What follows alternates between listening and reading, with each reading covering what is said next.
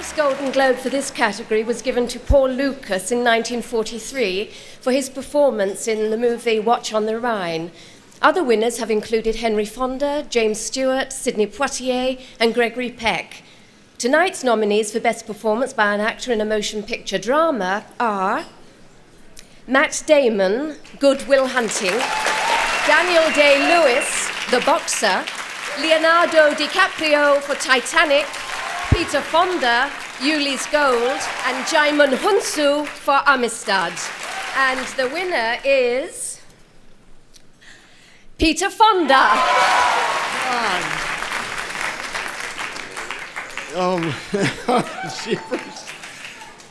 God, it's great to be back. oh, man. I just love this.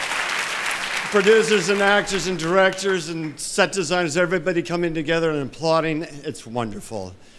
I, everybody has said all the words I've wanted to say. I don't. oh, boy.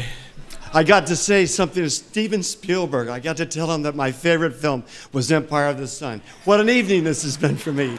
And now, well, it, has been, it's been proven tonight, and as it is when these awards ceremonies go along, that one person can do a painting, one person can sing a song, one person can write a poem, but a whole bunch of people make a motion picture.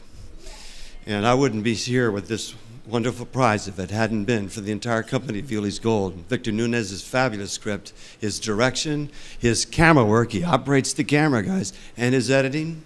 Everybody in the film, the cast, Jonathan Demme, who stood by for me, and the folks at Clinica Estetico. I mean, I'm sounding like everybody else. Danny, you got to write me a speech. I don't know what to do. I should, right? Oh, I wish my dad were here tonight. That's all I can say. Thank you very much, the Hollywood Foreign Press. I appreciate you.